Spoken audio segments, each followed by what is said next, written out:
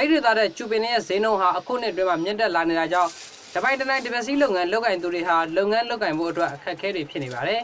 ။ဒီအတွက်ကြောင့်ပထော်ချေးရကတပစီလုပ်ငန်းကိုလုပ်ကင်သူထက်ဝက်ကျော်နီးပါးဟာကုန်ကျစည်းနှုန်းမြင့်တက်လာတာကြောင့်လုပ်ငန်းကိုရနာလိုက်ကြပါတယ်။ဘိန်းမြို့မှာတပစီလုပ်ငန်းကိုအလုပ်ရုံတွေနဲ့တွင်တွင်ကျကျလုပ်ကင်နေသလိုကျိုးစုမြို့နယ်ပထော်ချေးရကအမျိုးသမီးအများစုဟာလည်းဒီလုပ်ငန်းကိုအနှစ်80လောက်လုပ်ကင်လာနေကြတာပါ။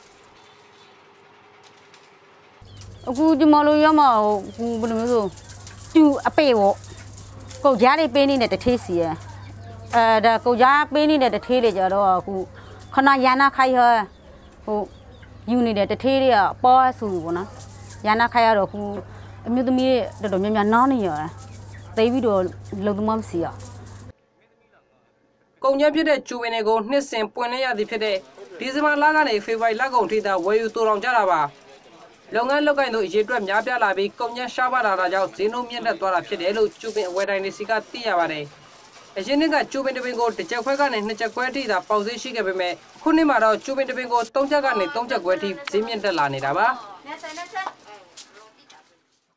ဝဲလို့အများတယ်ပြီးတော့ကျွန်တော်တို့ကဒီကျူဆိုတဲ့ကုတ်ချမ်းတီကျွန်တော်တို့တောမီဖြစ်တဲ့အတွက်တောပြုတ်လာတဲ့အတွက်ဒီကုတ်ချမ်းတွေကလည်းဆောက်ပေါ်မှုပြဿနာတွေရဲ့ ကြုတ်တွေလာရပစ္စည်းတွေကကုတ်ချမ်းပစ္စည်းတွေဆောက်ပါလာဝဲလို့အများလာတော့ကြပြီးတော့ဇစ်တယ်ဆိုကျွန်တော်တို့လို့ထင်မြင်ယူဆခင်ဗျာ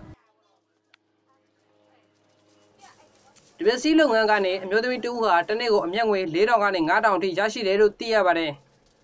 အခုကုန်ကျန်းစိမြင့်တက်လာတဲ့အကြောင်းမိသားစုစားဝတ်နေရေးပေါ်ထိခိုက်မှုတွေလည်းရှိလာနေပါတယ်ဒီသတင်းကိုတော့ဘိုက်ကဒီမိုသွေးကရိုက်ကူးပေးဖို့ထားတာပါ